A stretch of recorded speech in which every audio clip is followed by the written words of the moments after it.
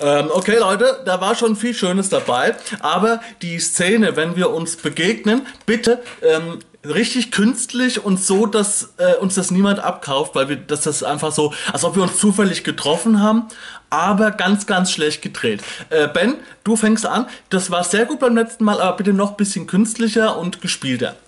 Äh, Zufallsbegegnungen, Crowdfunding, die, äh, äh, was haben wir, die, die fünfte. Action.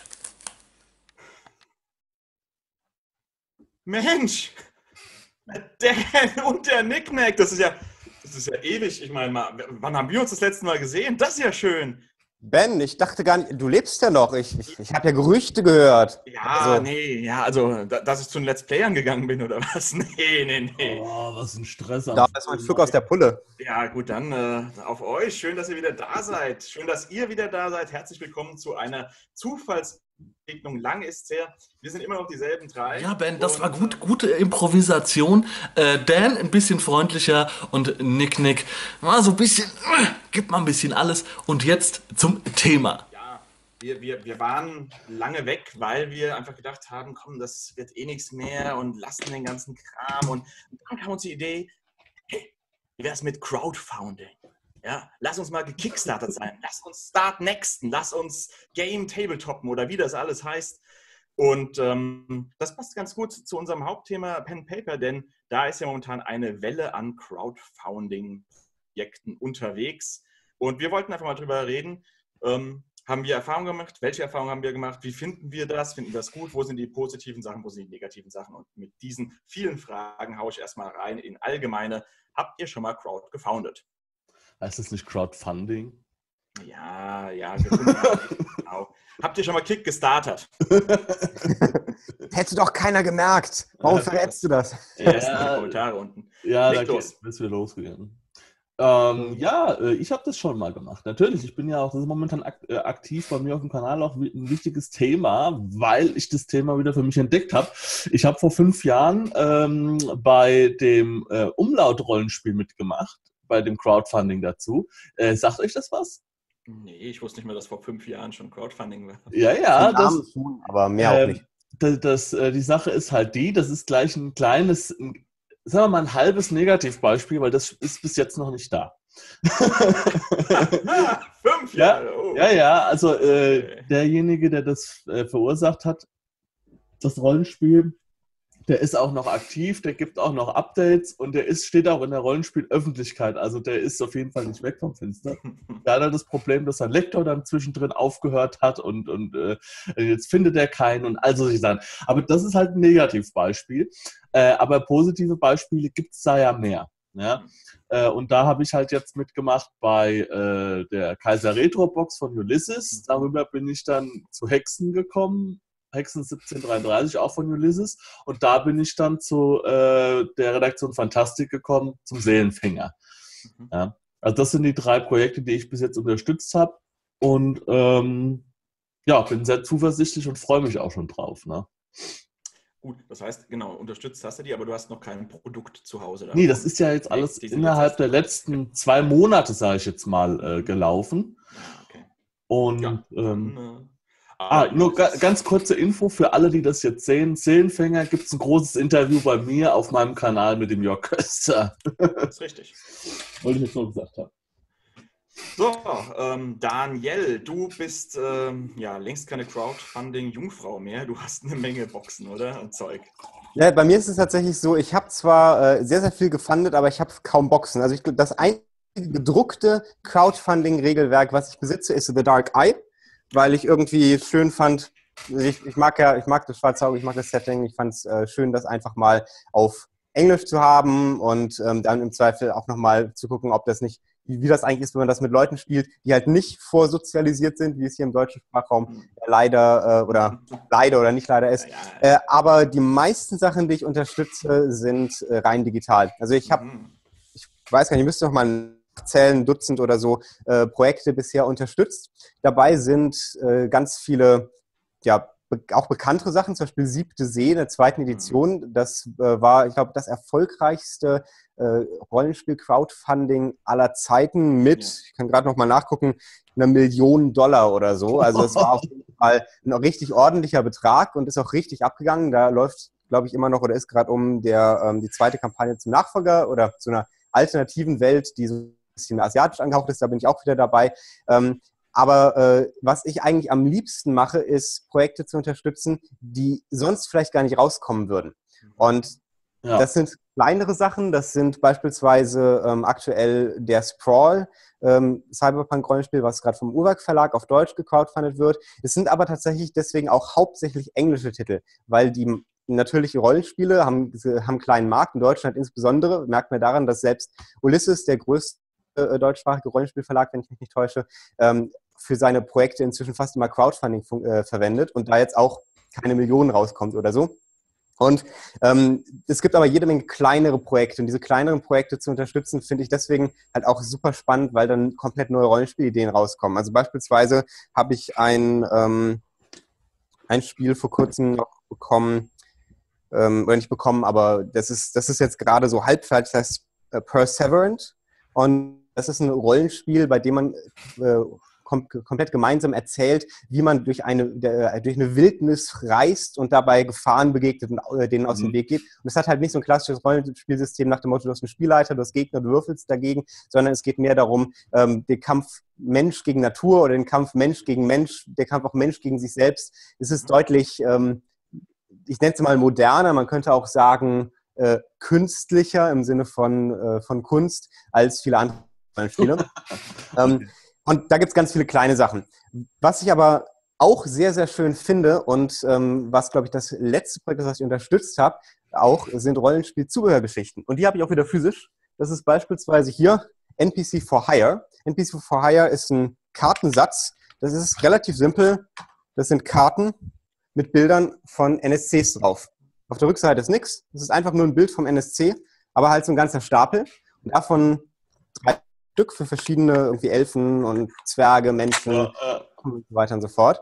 Ähm, und sowas, das habe ich auch äh, übers Crowdfunding oder das hier, das ist eine Würfelbox, könnte man sagen, oder Rollenspielbox. Da kann ich innen rein irgendwie meine Würfel und Miniaturen packen und einen Stift. Und mit dem Stift kann man hier noch schreiben, das wieder abwischen. Und, und was ich auf jeden Fall heute erzählen muss, diese Dinger hier. Das war eines meiner ersten Crowdfundings. Hier steht so schön drauf Smoky Campfire und da sind so kleine rote Dinger drin.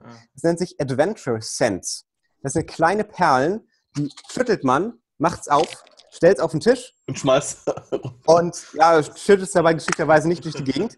Äh, aber dann riecht es in diesem Fall nach Smoky Campfire im Raum. Also man hat damit die Möglichkeit, nicht nur Geräusche und äh, Beschreibungen zu machen und Bilder hochzuhalten, sondern man hat auch die Gerüche im Raum. Ach, du, ähm, Spiel der ich gebe zu, die Box mit Hafenviertel, die mache ich nicht so häufig auf.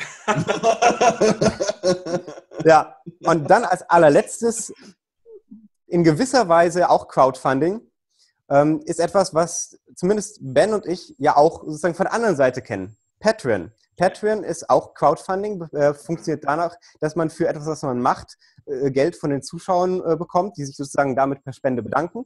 Und ähm, das eben auch ist ähnlich finanziert wird über, du musst das einkaufen oder ich habe irgendwie Werbung oder sowas, sondern es wird finanziert über viele Leute, die alle so ein kleines bisschen was beitragen. Und das ist ja beispielsweise äh, bei Ben und bei mir auch. Wir haben beide kleine, äh, kleine Patreon-Kampagnen laufen und sind deswegen, was Crowdfunding angeht, im Rollenspielbereich tatsächlich auch auf der anderen Seite mit aktiv. Richtig. Das wäre auf jeden Fall ein äh, Thema, das ich nachher noch ansprechen will. Ähm, ich schalte mich ganz kurz nur ein. Äh, ich habe auch gar nicht so viel. Ich habe 2014 angefangen, ähm, die Berge des Wahnsinns äh, zu crowdfunden. A, weil ich die Kampagne bei Pegasus verpasst habe zu kaufen. B, weil ich immer mal so ein handliches kleines Buch für die äh, Handtasche haben wollte. Das sind alle drei Teile. Oh, leck mich mein, am Arsch. Mein dickstes äh, äh Rollenspielbuch. Ähm, ja, ich, über, ich, Cthulhu hat so diesen Drang. Ist das die, welche Edition ist es denn da? 750 oder? Seiten, das ist die letzte gewesen. Also nicht die aktuelle, sondern Sechste die letzte davor. Äh, genau, aber äh, ist ja alles kompatibel. Ja, dieses kleine Schätzchen. Und äh, jetzt ganz aktuell äh, äh, konnte ich nicht an W20 vorbei, äh, Werwolf 20 mir von Ulysses geholt und ich finde es auch sehr schön, dass die alte Weltstätte halt durch die wieder auflebt. Dann habe ich jetzt, ähm, ist glaube ich noch zwei Tage ähm, aktuell, äh, Starfinder gecrowdfounded, weil ich mir das auf Englisch durchgelesen habe, fand es ziemlich gut, aber wenn es auf Deutsch übersetzt wird, warum nicht? Und ähm, weil ich auch ein paar Brettspiele habe, habe ich mir von Zombicide äh, ähm, die nächsten Update gecrowdfounded, das jetzt wieder brettspielmäßig Green Horde, die Orks dazu. Und äh, Nick, Nick, du hast vorhin gesagt, das erfolgreichste Crowdfunding in Deutschland, meintest du wahrscheinlich mit der Million, oder? Ähm, ich meinte siebte See und siebte See war Englisch. Hm. Und das ist jetzt Okay. aber Weil eine Million in Deutschland abrufen, das ist ja.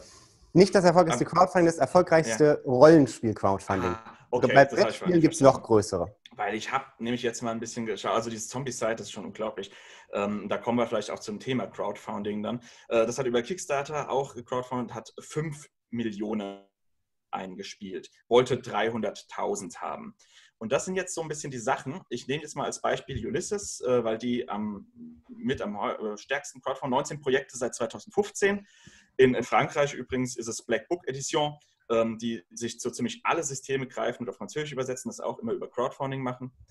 Und Ulysses hat äh, jetzt zu- zuletzt Starfinder, dann äh, die Felation-Sage, hast du schon gesagt, äh, Hexen, hast du gesagt, Kaiser Retro, also die letzten drei warst du dabei. Dann Pathfinder, Magus M20, äh, Cthulhu Crossover mit Pathfinder, Werwolf, I Am Zombie, Kobolde fressen Babys. Ähm, eine Con, die Vampir W20 äh, Rauskommen-Con sozusagen, haben sie gecrowdfundet. Ein Spielleiter-Buch mit Tipps für Spielleiten und, und, und. Und wenn man sich die Dinger so anschaut, die sind alle durchgekommen und die haben alle ihr Soll erfüllt, meistens um das Doppelte, wenn nicht sogar, also um, um Prozentzahlen, die, die man sich nicht, also ja. Cthulhu Pathfinder Cross- Crossover hat 1500 Prozent vom eigentlichen Wert. Äh, Kaiser Retrobox 4306 Prozent. Die sind 107.000 Euro haben die damit äh, eingenommen. ja. Ja, Ähm, der, der, der, der, der, größte ist Vam- Vampire W20, das war ganz frisch, äh, mit 113.000 Euro. Das sind natürlich Summen, äh, da reibt sich der Verlag die Hände. Ne? Da Nee, Moment, also der nicht der Seite- größte, also die Hexen hat es auch über, über, Ach, stimmt, Hexen hat ja. noch mehr. 116.000 Ach du Scheiße, ja, stimmt. und äh. Man Ja, muss bei äh, Beträgen natürlich auch immer aufpassen. Also ähm, das klingt jetzt auf, die Ja. erst, auf den ersten Blick relativ hoch. Und Ulysses hat auch noch den Vorteil, dass sie eine eigene Plattform verwenden Ja, und deswegen genau. vermutlich deutlich geringere Gebühren zahlen, als wenn man bei Kickstarter wäre. Bei Kickstarter zahlt man, ich glaube, etwa 10 Prozent äh, allein für einen Kickstarter. Dazu dann noch Steuern und so weiter und so fort. ach, dieses Game Ähm, on Tabletop ist von Ulysses? Ähm, nee, das ist nicht direkt von Ulysses, Voll. aber das ist ein, äh, eine Firma, die mit denen auch sozusagen gut bekannt ist. Und bei, also Ulysses ist, wenn man, auf, wenn man mal auf Gamer und Tabletop guckt, da mit Abstand der größte Kunde. Das heißt also, die sind, die, die haben auf jeden Fall da gute Konditionen rausgehandelt. Also sollte, Ah, wenn, ja. wenn Ulysses da das gleiche zahlen sollte wie bei Kickstarter, dann haben sie das falsch gemacht, weil dann Ja, wäre es für sie sinnvoll, direkt auf Kickstarter zu gehen. Und was man auch nicht vergessen darf, ähm, die Startzahlen, die bei den Kickstartern stehen, oder nicht bei den Kickstartern, Mhm. aber die bei den Ulysses Crowd- Crowdfundings stehen, das sind Zahlen, zu denen es sich nicht unbedingt für den Verlag lohnen würde. Das heißt also, es ist sehr, sehr viel Marketing dabei, dass man diesen Betrag natürlich gezielt auch so niedrig wie möglich setzt, damit dann dieser Effekt eintritt, ach, das ist gefundet und da gibt's coole Extras, da mache ich mit äh, und nicht dieses, ach, da fehlen ja noch 5000, dann warte ich lieber mal ab, ob ich noch äh, unterstütze. Mhm. Wenn man mal guckt, wie so Rollenspielprojekte auf Kickstarter äh, sind, die haben meistens 5.000 bis 10.000 Euro, aber eher 10.000 Euro als ähm, Mhm. Startbetrag, während es ja bei Ulysses irgendwie ein paar Tausend, 3.000, 4.000 Euro ja, genau. Ja. äh, und ich meine mich zu erinnern, dass auch mal bei einem Panel äh, einer von Ulysses gesagt hat, dass sich sozusagen dieser Betrag nicht rechnet, aber äh, dass es einfach äh, so, so von der, vom Marketing her so funktioniert und so gemacht werden muss, damit man die Dinge auch durchfinanziert bekommt. Ja. Ja, Aber gut, wir haben ja nicht das Problem. Die Ne? kriegen es durchfinanziert. Ne? Also, und zwar um ziemlich viel. Ähm, du hast es gesagt, ne, es gibt diese Stretch Goals. Äh, das heißt, wenn man ihr seine 3000 hat und das Ding wird gedruckt, was ja dann äh, vielleicht eine Nullrechnung ist oder vielleicht ein kleiner Gewinn, aber was dann einfach sicher ist, das Ding kommt raus, dann gibt es diese kleinen Stretch Goals. Ähm, ihr habt jetzt auch schon gefundet, geht ihr nach Stretch Goals? Also man freut sich, dass ein bisschen was mehr ist, aber ist es auch der Grund dann so weil du gerade gesagt hast, da gibt es viele kleine Goodies dazu. Also für mich ist das tatsächlich nicht. Also ähm, ich, ich, fand ja hauptsächlich äh, Rollenspiele und ein paar Brettspiele mit Crowdfunding. Und Rollenspielen habe ich noch nie gesagt, das ist ein cooles Goodie, also ein cooles Stretch Goal, was rauskommt. Muss natürlich auch unterscheiden zwischen Stretch Goal, das gibt es, weil mehr Leute ähm, äh, fanden, und Exclusives, also Dinge, die man ja. exklusiv beim, bei der Crowdfunding-Plattform erhält. Das ist teilweise, das kann das gleiche sein, also es kann ein Stretch Goal geben, was du nur kriegst, wenn du bei Crowdfunding dabei warst. Es kann aber auch Dinge geben, die kriegst du nur, wenn du bei Crowdfunding dabei warst, äh, aber von Anfang an sind das kein Stretch Goal. Und es gibt auch Dinge, die sind ein Stretch Goal, sind aber am Ende auch im Produkt drin. Soweit ich weiß, ist bei Ulysses fast ausschließlich ähm, nachher auch im Produkt drin, also bis auf. Es gibt die, die du noch extra kaufen musst, ne? Also diese paar Sachen. Ja, und, und Add-ons, genau. Add-ons, die man zusätzlich genau, kaufen ja. muss. Und beispielsweise war, für mich war damals Siebte See, ähm, zweite Edition, ganz einfach deswegen so erfolgreich, meiner Ansicht nach, weil die halt gesagt haben, wir bieten dir für 20 Dollar die PDFs von Siebte See. Und zwar Siebte See zweite Edition, alles, was wir jetzt rausbringen, und Siebte See erste Edition, alles, was schon draußen ist. Mhm. Und das für 20 Dollar, da kann man einfach nicht Nein sagen. Das kriegst du, also das ist, wenn du das jetzt versuchst nachzukaufen, sind das Tausende Dollar mindestens. Äh, wenn, ja, 10.000 vielleicht noch nicht, aber ähm, es sind einfach Beträge, äh, wo man darüber nachdenken würde normalerweise. Und dadurch haben sie es da geschafft, extrem erfolgreich sehr, sehr viele Leute anzuziehen. Ähm, und auf sowas achte ich auch. Also was sind die Dinge, die ich jetzt konkret bekomme, wenn ich sie unterstütze? Aber was sind die Dinge, die ich durch die Stretch Goals dazu bekomme? das hat mich bis jetzt bei keinem Projekt überzeugt, auch nicht bei mhm. den Brettspielen. Da gibt es dann irgendwie neue Plastikfiguren oder die Plastikfiguren werden äh, irgendwelche Pappmarke, wenn stattdessen als Plastikfiguren gemacht. Mir kommt es mehr auf den Inhalt an, äh, im Sinne von Regeln, Texte, Mechaniken, Setting. Und äh, da passiert nicht unbedingt so viel. Da gibt es dann ab und zu eine zusätzliche Kurzgeschichte oder ein zusätzliches, ähm, vielleicht ein zusätzliches kleines Mini-Setting. Ähm, aber da gibt es meistens halt auch nicht wirklich viel dazu, weil die äh, Crowdfunding so gebaut sind, dass sie sich sonst auch nicht finanzieren würden. Ja. Alles, was du komplett neu machen musst, kostet ja extra, aber die, äh, das Geld, was du pro Bäcker bekommst, bleibt gleich. Das heißt also, dann musst du auf einmal doppelt so viele Bücher drucken, weil du irgendwie über die Stretch Goals die Bücher äh, versprochen hast, kriegst aber pro Bäcker immer noch das gleiche Geld. Stretch Goals ist was, was, was ich gehört habe, was auch für viele wichtig ist. Für mich ist das ziemlich egal. Ja, also für mich sind die Stretch Goals so das Salz in der Suppe, sage ich jetzt mal. Also ich äh, mache jetzt nicht, also was ich schon gemerkt habe, es gibt wohl Leute, die gucken sich äh, Rollenspielsysteme an oder Crowdfundings an und steigen dann relativ am Ende ein, wenn jetzt viele Stretch Goals freigeschaltet sind. Ist mir schon mhm. aufgefallen. Mhm. Das ist dann am Ende so dieser dieser Swap, der nochmal kommt, ja, wo da nochmal so ein Push kommt am Ende. Das sind halt die, die, die nach den Stretch Goals gucken. Für mich ist es halt interessant, ich ähm, habe hab halt, was weiß ich, 50 Euro investiert und mit jedem Stretch Goal, was ich erreiche, wird es quasi billiger für mich, weil ich immer mehr und mehr dazu bekomme. Das ist für mich schon interessant.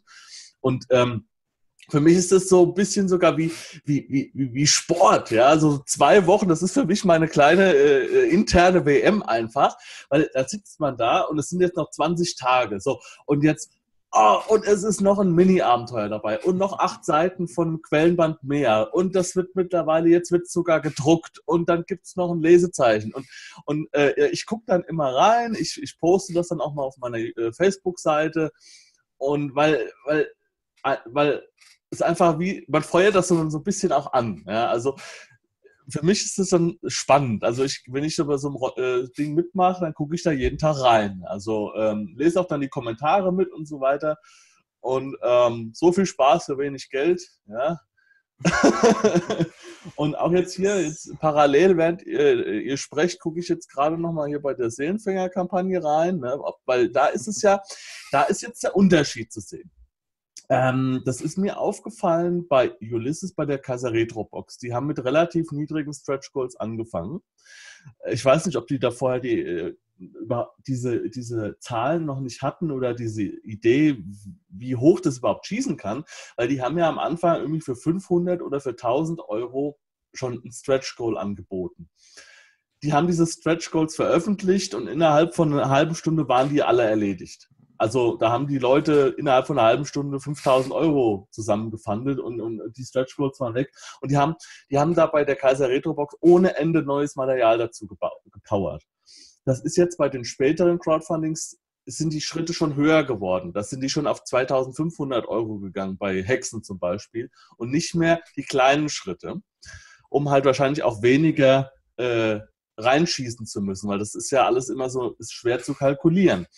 Und zum Beispiel kleinere Rollenspielsysteme, hier zum Beispiel, ich muss es einfach, weil ich mich damit beschäftige, äh, mit Seelenfänger jetzt, ähm, die haben zum Beispiel als Grundfunding-Ziel, haben die schon äh, 5000 Euro gehabt. Mhm. Das ist schon höher als bei Ulysses Crowdfunding, die mit teilweise mit, mit 2500 Euro jedes Crowdfunding beginnen mittlerweile. Und äh, bei denen ist der nächste Schritt 7500. Das ist für ein kleines Rollenspiel ja sehr, sehr hoch. Ja? Ähm, wo auch jetzt nicht 700 Unterstützer dabei sind. Die werden, wenn sie, wenn sie am Ende mit 150 Unterstützer rausgehen, werden die sich freuen. Ja? Und, Gut, ähm, aber das, das mit der Anzahl, das ist ja tatsächlich nicht so ungewöhnlich. Wenn man sich die Ulysses Crowdfundings anguckt, die werden auch getragen von 100, etwa 100 Leuten, die jeweils 300, 400 Euro in ein einzelnes Crowdfunding reinstecken und ähm, damit sozusagen finanzieren. Also nicht ganz, das, wird, das kommt von der Gesamtsumme nicht ganz hin, aber es sind sozusagen sehr, sehr wenige gefühlt, die sehr, sehr viel Nein, Geld investieren. Das, das, sind weit über, weit über 500 Leute gewesen jetzt bei, bei Hexen und auch bei, äh, ja bei, bei, ähm, bei DSA, äh, bei der Kaiser Retro Box. Und man kann es ja. Da kommen ja auch so riesige Beträge am Ende zusammen. Ja, natürlich. Ich habe gesagt, für, für wenig Geld, aber ganz kurz, äh, wie viel hast du für Hexen crowdfundet? Wie, wie viel muss man reingeben? Äh, man fängt mit 50 Euro oder 50, was? Ja. Nee, äh, äh, warte mal. Das nee, ich, ja. ich bin, nee, ich bin auf die, ich bin auf die nächsthöhere gegangen, auf 100 ja, okay. Euro. Ja. Weil da, da gibt es dann wieder viel mehr dazu viel Spaß für wenig Geld ist äh, schnell gesagt, aber ähm, ich habe hier äh, das Werwolf-Buch gefundet und ich habe das äh, sozusagen gekauft. Also gut, ich habe, glaube ich, 10, ich glaube 10 Euro Gewinn gemacht, weil äh, es kostet 79 und ich habe es für 70 gefundet. Aber es ist, ich finde jetzt nicht, ähm, dass man für einen kleinen äh, Batzen, außer ich gehe komplett auf digital, wie es äh, der Daniel macht, dann ja. ist es wahrscheinlich schon günstiger. Aber wenn ich was Haptisches, und ich bin halt der Sammler, der was Haptisches haben will, dann äh, bezahle ich den normalen Preis, den ich auch im Laden bezahlen würde, würden die das ganz normal übersetzen und rausbringen. Vollkommen klar. Das ist jetzt, das war jetzt natürlich bei Hexen, weil ich wollte mhm. gerne noch den SL-Schirm und ich wollte gerne noch den Kampagnenband dazu haben und so weiter. Ne? Deswegen. Aber jetzt zum Beispiel. Gab, Entschuldigung, ganz kurz, gab es die umsonst dazu? Also die gab es als, äh, als Add-ons oder als Stretch Goals? Äh, nee, die gab es dann in diesem Paket. Ach so, ja, das, das, das heißt dann Ruhmreicher ja, Jäger, da gibt es dann das Regelwerk gedruckt, die Werkzeuge des Hexenmeisters, also eine okay. extra Box nochmal, den okay. SL-Schirm. Das ist ja jetzt schon Gut. abgelaufen. Ja, ja, okay. Und also jetzt zum Beispiel bei Seelenfänger meine ich jetzt nur, um das ja. nochmal, da mhm. bekomme ich viel Spaß für wenig Geld. Äh, 50 Euro, ja, und da ist dann drin das gedruckte, das gedruckte Hardcover die PDF und das Fanpaket, in dem da ist eine Tasse drin, ein Kurzabenteuer, ein Starter-Szenario, ein Lesezeichen, ein Hörspiel, ein Poster, das signiert ist noch von den Künstlerinnen. So, ja, das meine ich halt. Ja, Natürlich kann man viel Geld investieren. Man, man, kann auch bei, bei irgendeinem Crowdfunding 1000 Euro reinpacken und taucht dann als Spielfigur in der Welt auf. Ja, das kann man auch machen, wenn man das möchte. Aber man kann viel, man kann aber auch wenig investieren. Man kann auch viel und man kann auch wenig bekommen. Ja. ja. Ja. Ich sage ja. Aber um, mal, um das nochmal zu sagen, also die Crowdfundings bei Ulysses, die sind tatsächlich tendenziell äh, eher Crowdfundings, die von wenigen Leuten stark finanziert werden. Also was schätzt ihr denn, ich habe es gerade mal ausgerechnet, was schätzt ihr denn, was der durchschnittliche Betrag ist, der jetzt bei Hexen oder bei der DSA 1 Grundbox von einer Person dafür äh, investiert das wurde? Kann, das kann ich jetzt hier sehen, um die 100, um die 100 Euro. Genau, um die 100 Euro. Bei äh, Seelenfänger sind es um die 70.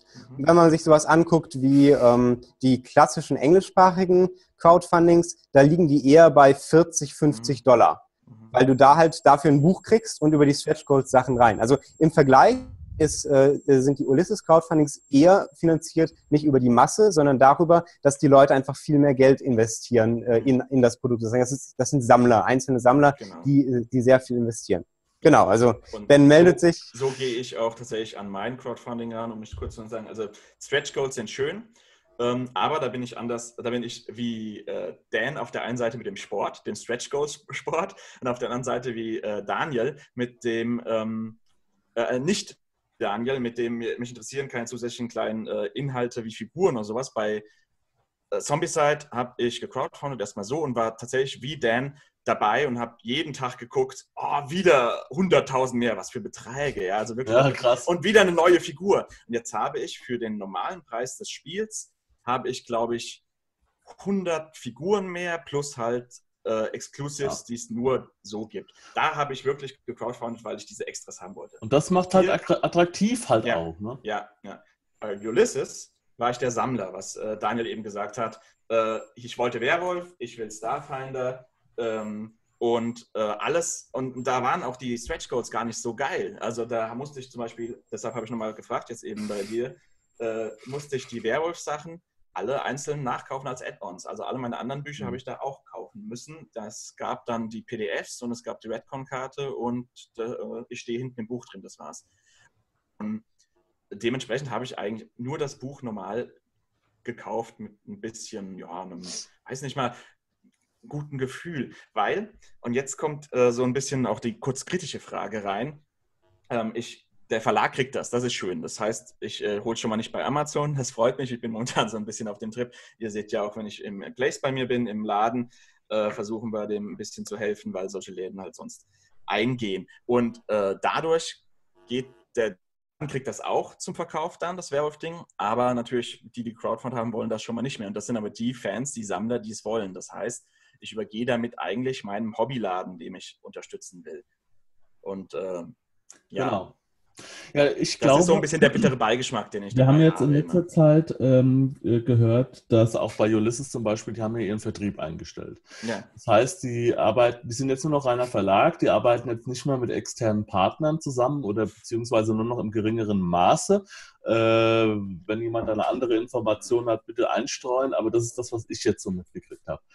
Das bedeutet, die, die haben den Schritt gemacht und haben quasi den Zweitverwerter oder den Zweitverdiener an so einem Ding komplett ausgeschaltet und vertreiben das jetzt direkt über online. Es gibt keine Händler mehr. Die Händler müssen es dann auch direkt bei Ulysses holen. Und äh, also in dem Sinn gehen die quasi den Schritt, also die haben quasi den, den Zwischenhändler mehr oder weniger rausgenommen und gehen jetzt direkt an die Leute ran und das natürlich auch mit Crowdfunding.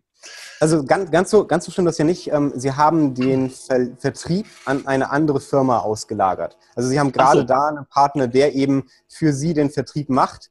Ähm, was ich noch nicht weiß, ist, wie, sie, wie, wie Ihr Lager aussieht. Also Sie haben ja in dem äh, Gebäude in Wald-Ems ein eigenes Lager. Sieht man ja ab und zu äh, auch in Videos. Und das Lager werden Sie ja nicht so schnell los. Das Gebäude ist, wenn ich mich nicht irre, sogar gekauft. Das heißt also, vermutlich verwenden Sie das Lager immer noch, aber ähm, Sie haben an sich den, die Vertriebsgesellschaft ausgelagert. Die spannende Frage ist natürlich, wie stark wird das, äh, werden Sie jetzt auf die direkte Schiene gehen? Und da gab es auch einen, äh, vor kurzem einen sehr spannenden Beitrag vom ähm, Patrick Götz, dem Verlagsleiter vom Uhrwerk Verlag, der äh, in einer Art äh, State of the Industry Rede so ein bisschen erzählt hat darüber, was er, ähm, äh, wie, wie die Rollenspielbranche funktioniert, wie sich verändert hat.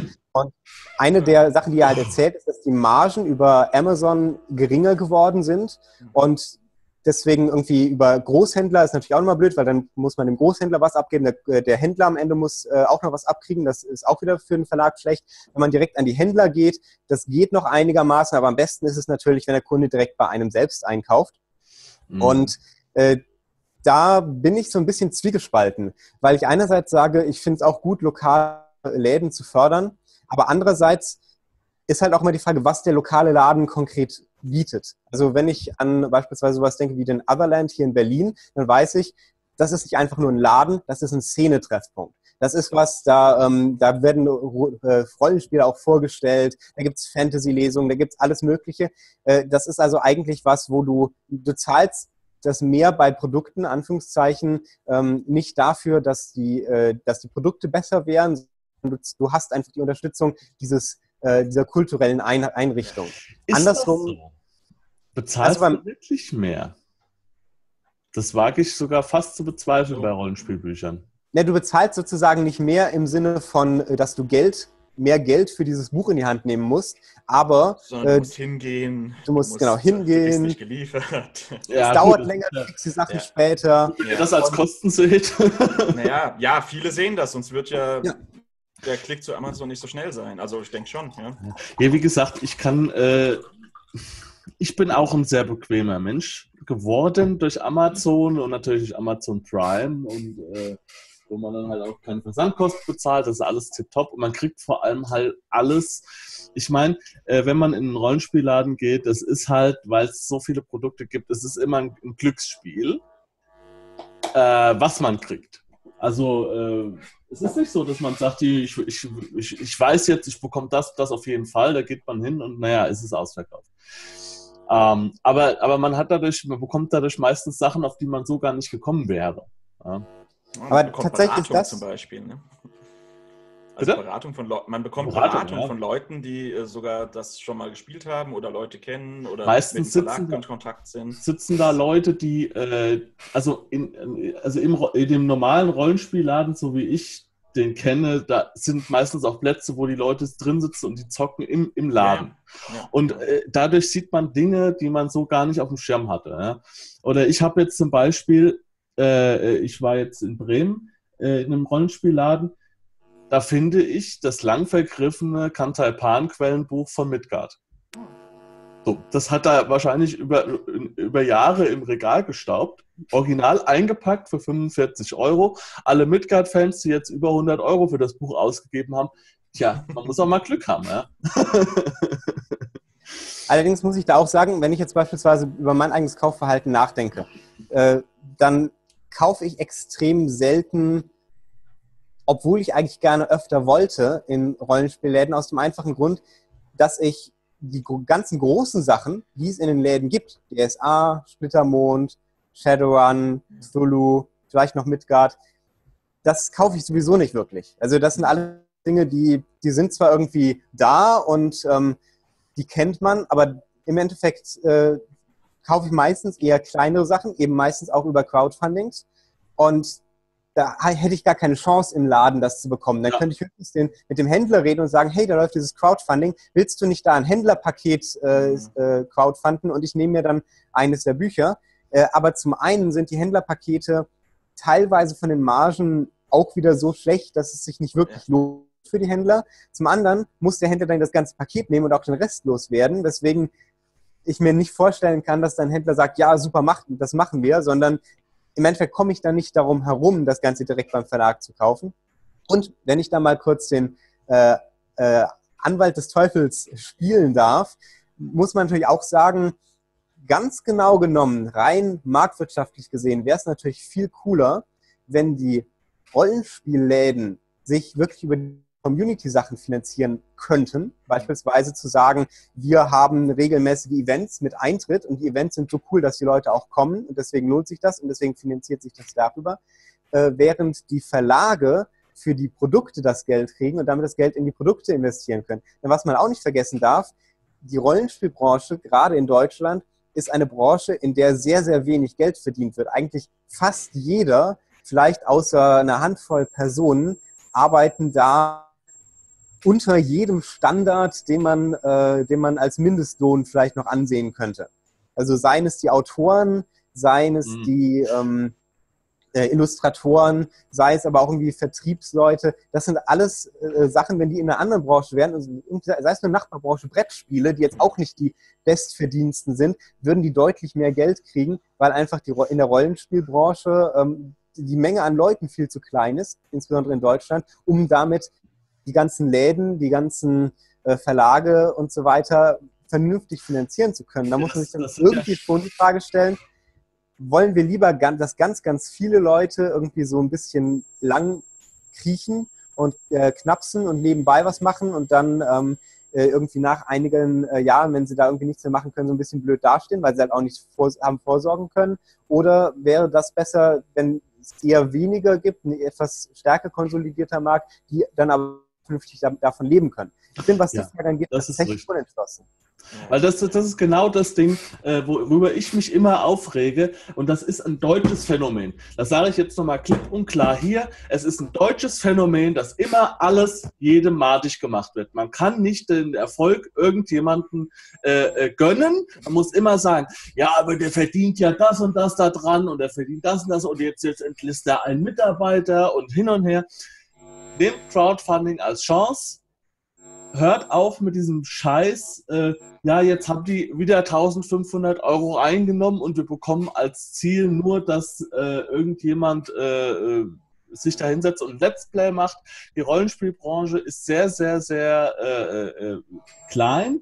Und äh, wenn ihr zum Beispiel, guckt euch mal die Artworks an. Wenn die Artworks von DSA zum Beispiel, wenn die abwandern würden, weil die sagen, ja, wir, die, die Artist äh, Director Nadine Schäkel und sonstige, wenn die sagen, wir verdienen doch viel, viel mehr Geld bei, äh, in der Werbung, dann sind die weg. Und was kriegen wir dann? Zeichnungen wie vor 50 Jahren. Also, lasst denen den Erfolg, macht mit, und hört auf, alles immer madig zu rechnen und äh, jeden Erfolg irgendwie äh, klein zu machen. Also das finde ich halt immer furchtbar. Deswegen ist Crowdfunding mehr eine Chance als äh, alles andere. Machen wir doch gar nicht, Dan. Hör doch auf, uns zu beschimpfen. Ich weiß, ich weiß. Das klang schon nach einem extremen Schlusswort, aber ich will gar nicht Schluss machen. Leute, wir machen dazu einen zweiten Teil. Oder? Ja, da ist noch so viel wir. ungesprochen und wir sind jetzt wirtschaftlich, wir sind politisch geworden. Ähm, ich möchte, bevor wir hier ähm, in den Schluss gehen, euch ganz kurz mal, sieht man das? Ja, ganz kurz ja. mal hier teilen.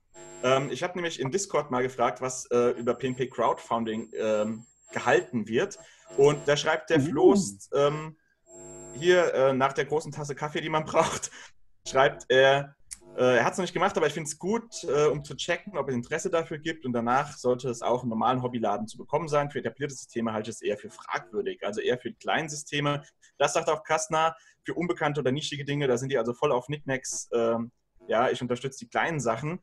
Und äh, Pete schreibt, ja, ein guter Weg, um kleinere Systeme veröffentlichen zu können. Es ist besser zu wissen, ob es überhaupt Interessenten gibt, als auf Büchern sitzen zu bleiben und Unkosten zu haben. Uhrwerken Ulysses machen dabei größtenteils einen guten Job und, aber das ist tatsächlich auch gerade nochmal ein guter Punkt, der da aufkommt, der so ein bisschen an das anschließt, was Dan gerade gesagt hat. Ähm, wenn man jetzt sagt, naja, irgendwie die kleinen Verlage, die können das machen, aber die großen Verlage, die können das doch selbst finanzieren. Gerade irgendwie, hm. wenn man sagt, Ulysses das ist doch der größte deutschsprachige Verlag. genau auf dieses Thema im nächsten Teil eingehen. Das ist doch fantastisch. Weil, weil genau dieses, was auch der Kastner geschrieben hat, da werde ich im nächsten Teil äh, einen Monolog halten. Ja? Äh, zum Thema äh, große und kleine Verlage, zum Thema von wie Handel funktioniert. Und das werde ich euch dann im nächsten Teil äh, sagen. Das ist nämlich ein sehr emotionales Thema. Okay, das und noch viel mehr im zweiten Teil von Crowdfunding, wenn wir unser Stretch Goal erreichen. Ja? uh. Vielen Dank. Äh, wir sehen uns im zweiten Teil. Macht's gut. Tschüss. Oh Sehr ja, schön. Da kommen wir jetzt direkt. So, neu starten, los geht's. Ja. Ich, bin, ich bin warm gelaufen. Okay, ähm, du bist kurz abkühlen, weil das ja rendern muss, wenn wir jetzt neu ah, ja, starten. Ja. Äh, fünf Minuten, wir sehen uns gleich wieder. Rendern. Ah ja, dann äh, sehen wir uns gleich wieder. Ich, ich öffne gleich wieder. Na gut.